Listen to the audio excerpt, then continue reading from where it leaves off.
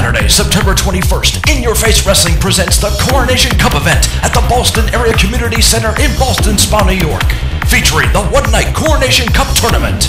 CJ Scott challenges Fronz Roddy for the IYFW title. Liam McFerrin defends the New Breed title against Damon Ravage. Plus, an in-your-face evening gown match and more. Tickets are $15 and $10. It's time to get in your.